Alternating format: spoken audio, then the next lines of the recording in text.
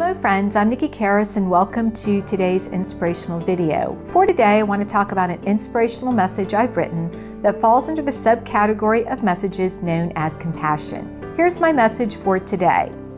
A world filled with judgmental people is a world filled with hatred for our fellow mankind. Stop judging others and bring love and compassion into the world.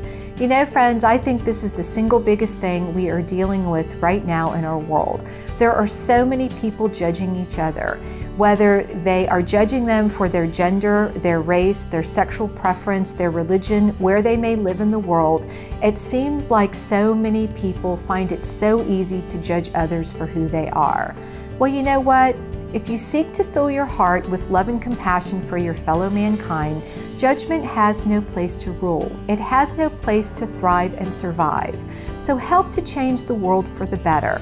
Seek to fill your heart with love and compassion for your fellow mankind. Stop judging others and in turn, make this world a better place for all. Love and blessings, Nikki Karis.